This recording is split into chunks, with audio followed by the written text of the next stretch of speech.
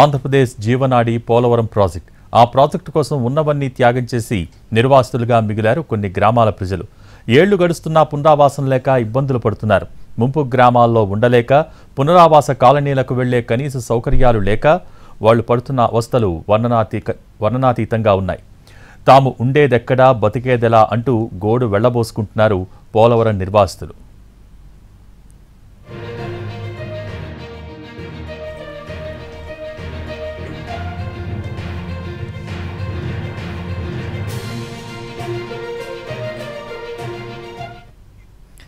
రాష్ట్ర భవిష్యత్తు మార్చే పోలవరం ప్రాజెక్టు కోసం త్యాగాలు చేసిన నిర్వాసితుల పరిస్థితి అగమ్యగోచరంగా మారింది. పునరావాస కాలనీల నిర్మాణం పూర్తి కాకపోవడంతో ముంపు గ్రామాల ప్రజలు ఏటా వరదల సమయంలో తీవ్ర ఇబ్బందులు పడుతున్నారు. గ్రామాల్లో ఉంటే ముంపు సమస్య పునరావాస కాలనీలకు వెళ్తే కనీస సౌకర్యాలు లేని దుస్థితి. దాదాపు దశాబ్ద కాలంగా పునరావాస కాలనీల నిర్మాణం జరుగుతూనే ఉన్నా ఇప్పటికీ పూర్తి స్థాయిలో మౌలిక సదుపాయాల కల్పన జరగలేదు. దీంతో గ్రామాలు వదిలి కాలనీలకు వెళ్ళిన నిర్వాసితులు తీవ్రంగా ఇబ్బందులు పడుతున్నారు.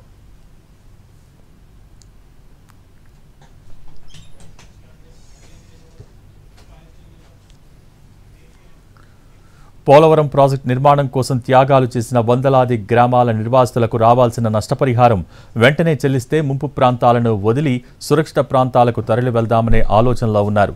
గ్రామాలు ఖాళీ చేసి పునరావాస కాలనీలకు వెళ్దామన్నా అక్కడ సౌకర్యాలు లేకపోవడంతో ముంపు గ్రామాల్లోనే నిర్వాసితులు ఉండిపోతున్నారు. దీంతో వరదలు వచ్చిన సమయంలో వారి జీవన పరిస్థితి దయనీయంగా ఉంటోంది. గ్రామాలు విడిచి వచ్చిన వారికి నష్టపరిహారం అందుతుందో లేదో అనే ఆందోళన చెందుతున్నారు. మరోవైపు కాలనీలో తాగునీరు వైద్య సేవలు అందుబాటులో లేకపోవటం అత్యవసర పరిస్థితులు తలెత్తితే ఆసుపత్రులకు వెళ్ళేందుకు సరైన రోడ్డు మార్గం లేకపోవడంతో పునరావాస కాలనీల ప్రజలు అవస్థలు పడుతున్నారు.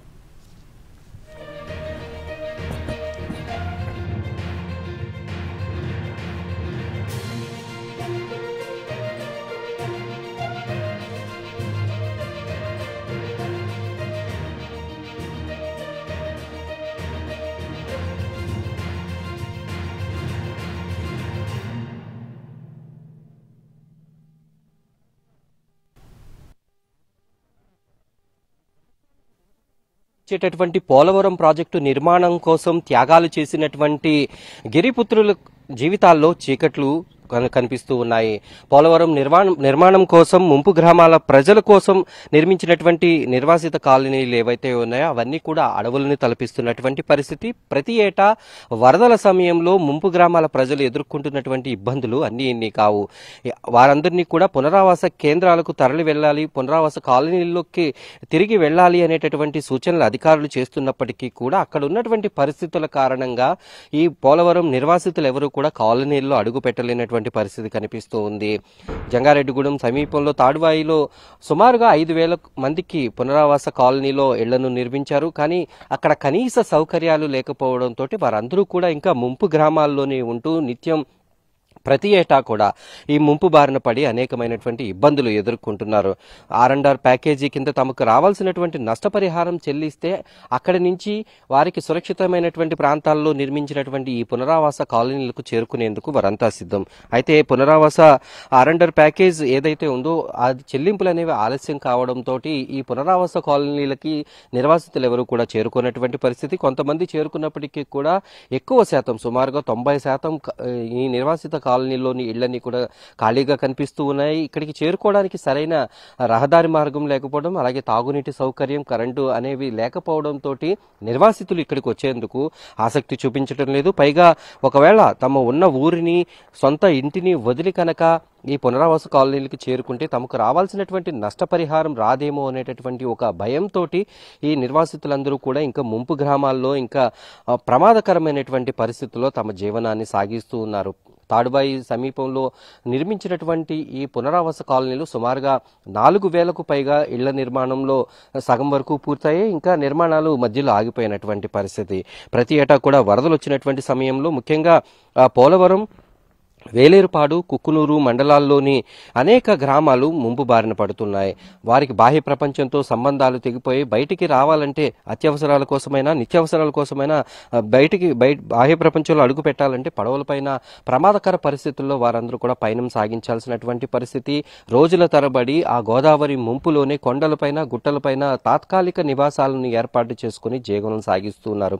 అయితే వారందరికీ కూడా పునరావాసంకి కాలనీలకు తిరిగి వెళ్ళేందుకు ఆరండ ఆర్ ప్యాకేజీలో రావాల్సినటువంటి నష్టపరిహారాన్ని చెల్లిస్తే వారందరూ కూడా తిరిగి స్వగ్రామ వారికి కేటాయించినటువంటి ఇళ్ళకు చేరుకుంటాము అనేటటువంటి విషయాన్ని ఎప్పటి నుంచో స్పష్టం చేస్తూ ఉన్నారు. ఇప్పుడు పోలవరం ప్రాజెక్టుకు సంబంధించి నలభై ఒకటి పాయింట్ ఐదు మీటర్ల వద్ద కనుక నీటిని నిల్వ చేసినట్లయితే దాదాపు రెండు వందల గ్రామాలు ముంపు బారిన పడుతూ ఉంటాయి. అక్కడి నుంచి కూడా అనేక మంది పునరావాస కాలనీలకు రావాల్సి ఉంటుంది. కానీ పునరావాస కాలనీల్లో పరిస్థితి మనం చూసినట్లయితే ఎంత ధైర్యంగా ఉంది అనేది మనకి ఇక్కడ అర్థమవుతుంది. వరదల సమయంలో కొంతమంది పునరావాస కాలనీలకు మాత్రం చేరుకుంటూ ఉంటారు. తాత్కాలికంగా ఇక్కడ కొంతకాలం నివాసం ఏర్పాటు చేసుకుని తమ జీవనాన్ని సాగిస్తూ ఉంటారు. అయితే తమకు రావాల్సినటువంటి పూర్తి నష్టపరిహారాన్ని కనుక కేటాయించినట్లయితే ఆ కాలనీలకు చేరుకుని తమ బాధలన్నీ కూడా తీర్చుకుంటామనేటటువంటి విషయాన్ని వాళ్ళు స్పష్టం చేస్తున్నారు. కానీ పునరావాస కాలనీల్లో మాత్రం పరిస్థితి దయనీయంగా ఉంది. ఇది ప్రధాన రహదారికి ఐదారు కిలోమీటర్ల దూరం లోపలికి ఉండడం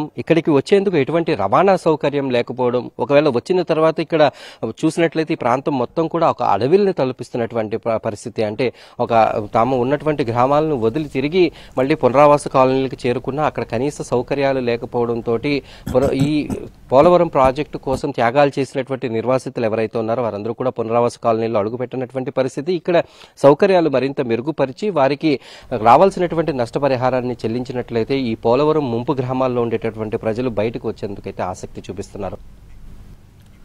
పునరావాస కాలనీలో దశాబ్ద కాలంగా నిర్మాణాలు సాగుతూనే ఉన్నాయి.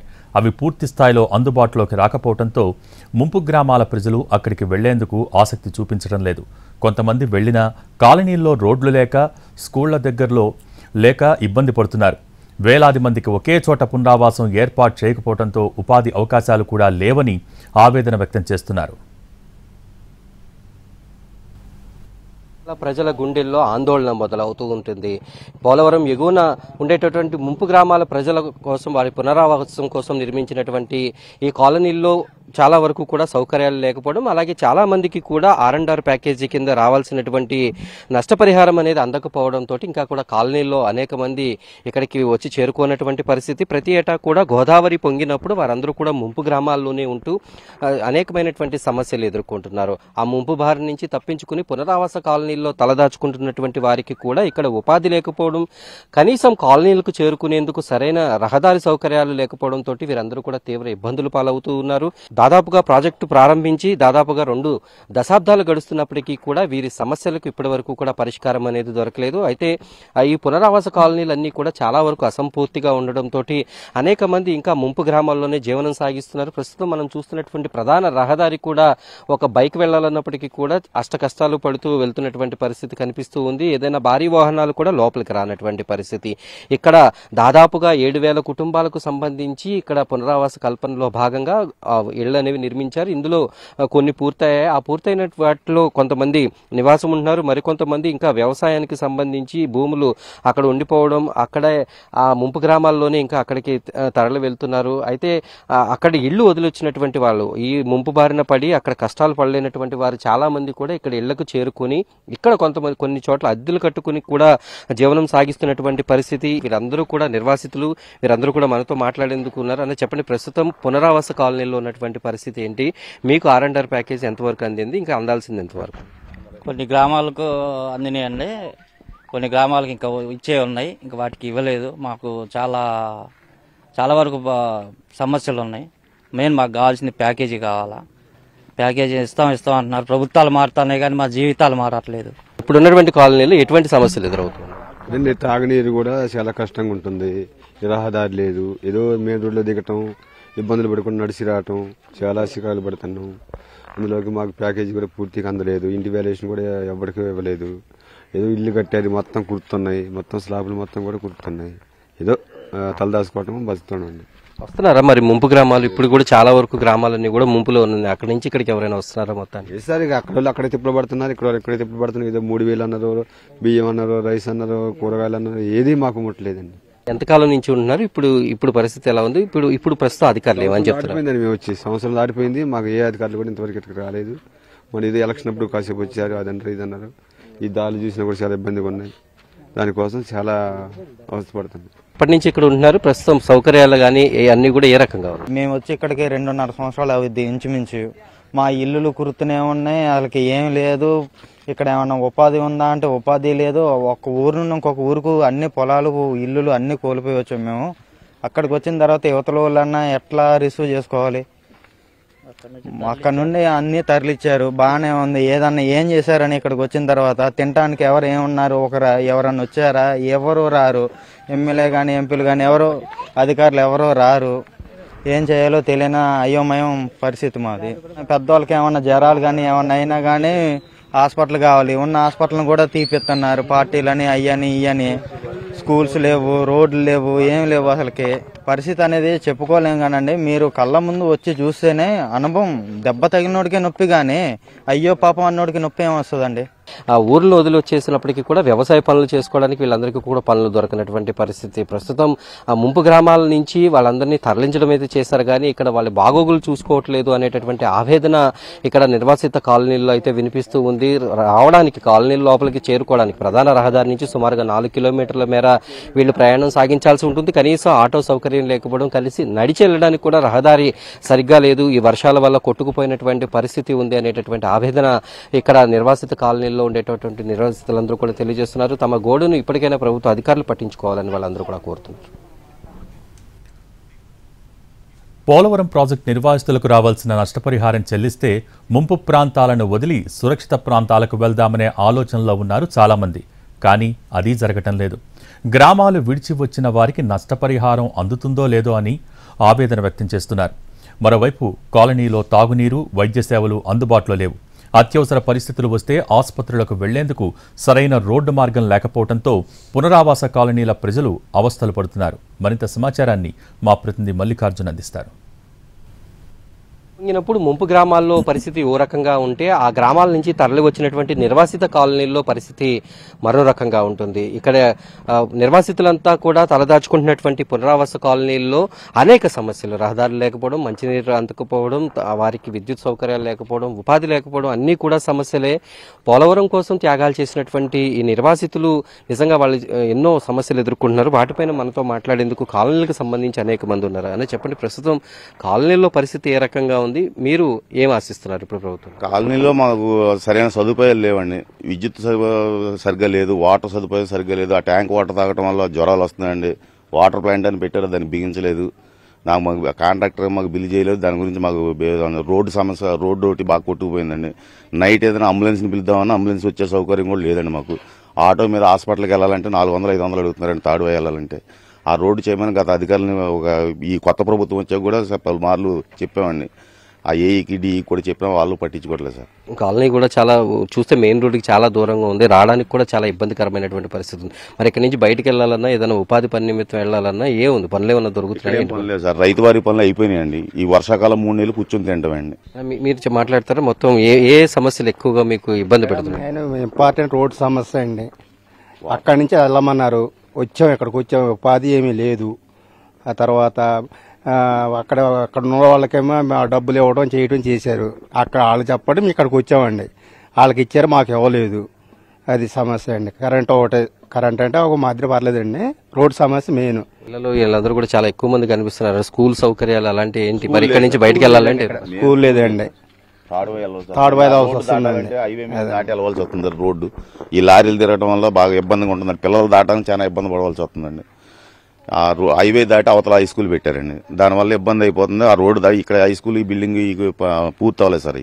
కన్స్ట్రక్షన్ పూర్తి అవ్వలేదు. అలాగే ఆపేసి ఉంచారండి. మీరు ఇప్పుడు అధికారులు కానీ ఎవరైనా వస్తే మీరు చేస్తున్నటువంటి డిమాండ్ ఏంటి? ప్రధానంగా మీకు ఇప్పుడు రోడ్డు సమస్య ఒకటి అండి. ప్లస్ వాటర్ ఒకటి వాటర్ ఇది ఇది వాటర్ తాగటం వల్ల జ్వరాలు వస్తున్నాయి సార్. వాటర్ ప్లాంట్ పెట్టారు. దాన్ని నిరుపయోగంగా వదిలేశారండి. అది బిగించట్లేదు. అదొకటి అండి. ఉపాధి ఒకటి లేదండి మెయిన్ ఇక్కడ మాకు. ఏదైనా ఉపాధి చూపించాలి మాకు. ఏదైనా ఫ్యాక్టరీ పెట్టి ఇక్కడికి వచ్చి తరలించిన వాళ్ళ మట్టుకి మేము మాకు ఏదైనా ఉపాధి చూపించాలండి మేము పునరావాస కాలనీలో ఉన్నటువంటి పరిస్థితిని మనం చూస్తున్నాం. ఇక్కడ వీరందరికీ కూడా తాగునీరు అందించేందుకు ఏర్పాటు చేసినటువంటి ఈ వాటర్ ప్లాంట్ ఏదైతే ఉందో దాన్ని ప్రారంభించకపోవడంతో ఇప్పటికీ కూడా తాముకి తాగునీరు అందక వచ్చినటువంటి ఏ నీరు అయితే వచ్చిందో దాన్ని తాగడం వల్ల అనారోగ్యం పాలవుతున్నాం అనేటటువంటి విషయాన్ని ఇక్కడ నిర్వాసితులందరూ కూడా స్పష్టం చేస్తూ ఉన్నారు. ఈ కాలనీలో అసంపూర్తిగా ఉన్నటువంటి పనులు ఏవైతే ఉన్నాయో స్కూల్ నిర్మాణం కానీ అలాగే తాగునీటి సౌకర్యం ఇక్కడ లేకపోవడం అలాగే వైద్య సదుపాయాలు కూడా అంతంత మాత్రంగా అందుతున్నాయనేటటువంటి విషయాన్ని స్పష్టం చేస్తున్నారు. అదే సమయంలో రహదారులు ప్రధాన రహదారి నుంచి కాలనీలకు చేరుకోవడానికి సరైన రోడ్డు సదుపాయం లేకపోవడంతో అంబులెన్సులు కూడా రానటువంటి పరిస్థితి. పెద్దలు ఎవరైనా అనారోగ్యం బారిన పడితే వాళ్ళని బయటికి తీసుకెళ్ళలేనటువంటి పరిస్థితి కనిపిస్తుంది అని నిర్వాసిత కాలనీల ప్రజలు ఆవేదన వ్యక్తం చేస్తున్నారు. పోలవరం కోసం త్యాగాలు చేసినటువంటి నిర్వాసితులు ఎవరైతే ఉన్నారో వాళ్ళకి నిర్మించినటువంటి కాలనీల్లో ఉన్నటువంటి పరిస్థితి ఇది. వీడియో జర్నలిస్ట్ కరిశ్రీనివాస్తో మల్లికార్జున్ ఏలూరు జిల్లా నుంచి.